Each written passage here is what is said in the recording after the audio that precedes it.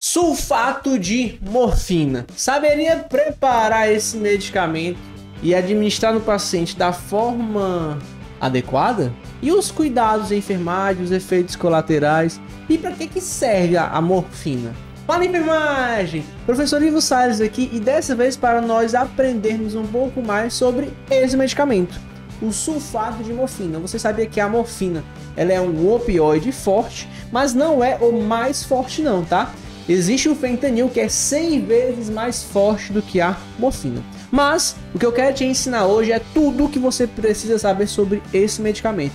Então assiste esse vídeo antes de você administrar morfina no seu paciente. Eu sou o professor Ivo Salles e seja bem-vindo ao Descomplica Enfermagem.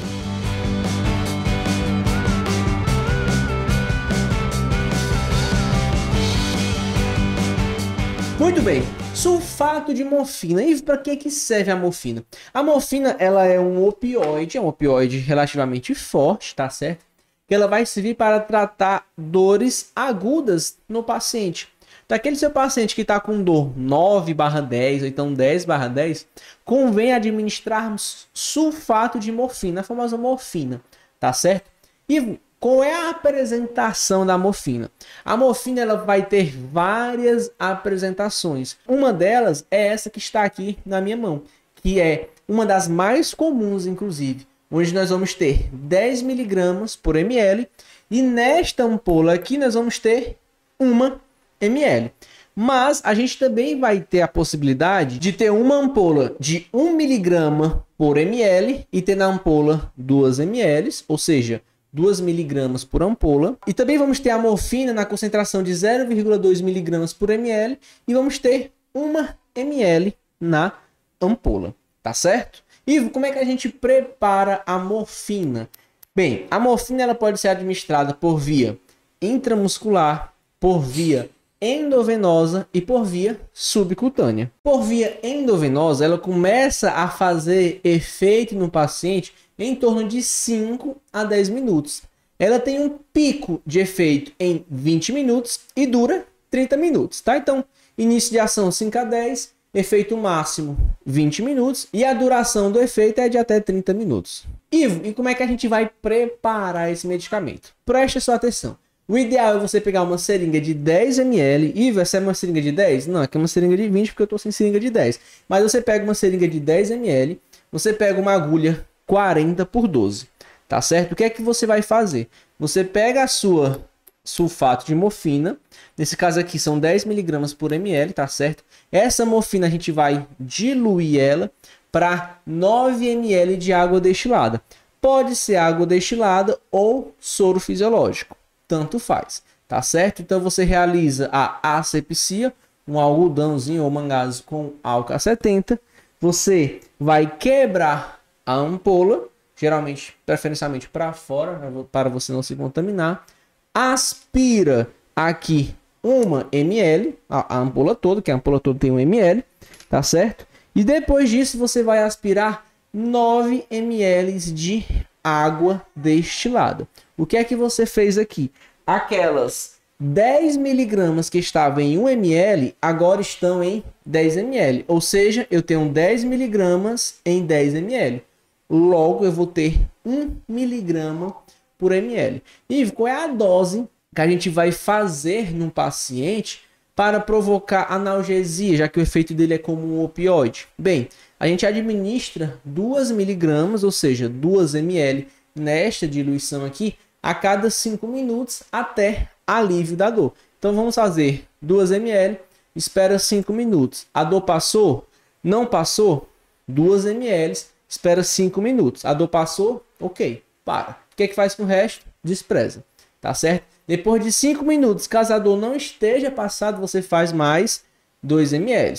E isso não pode causar efeitos colaterais no paciente? Bem, a morfina é um medicamento bastante seguro de ser administrado. Muitos profissionais têm medo de usá-la, mas não precisa. O efeito mais comum, o efeito adverso mais comum que pode provocar no paciente é náuseas e vômitos. Mas esse efeito ele é se dado principalmente quando o paciente não está com dor. Se você faz morfina em um paciente que não está com dor de fato forte, o paciente pode apresentar náuseas e vômitos.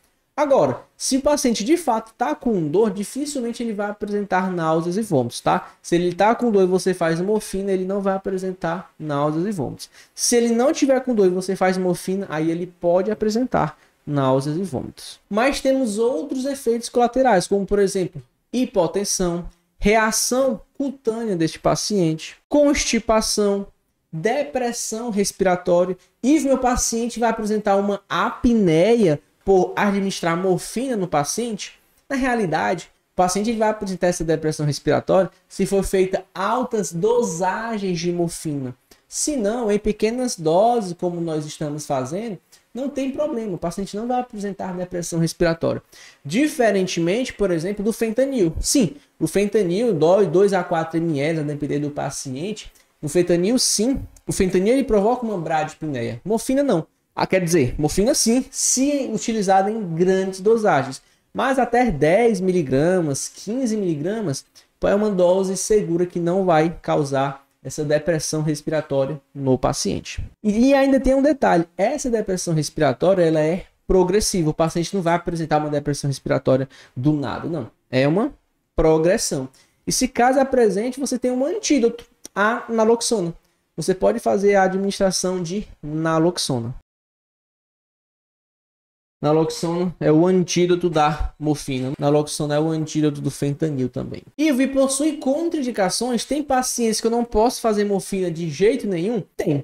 Principalmente aqueles pacientes que apresentam insuficiência renal grave.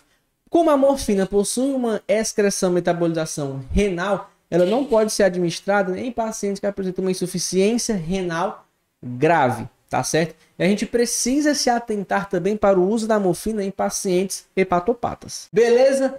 Quer saber mais sobre os medicamentos? Vou deixar na descrição desse vídeo um material completo de medicamentos voltado para a enfermagem. Os principais medicamentos, as indicações, contraindicações, as diluições, para que, que serve?